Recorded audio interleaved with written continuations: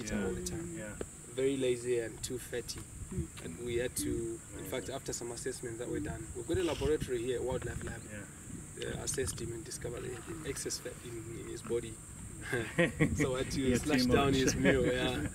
Um, you know, it didn't matter how much exercise we're giving him because he was giving, he was getting more food, so Yeah. uh, he could just get bigger and bigger and bigger and lazier.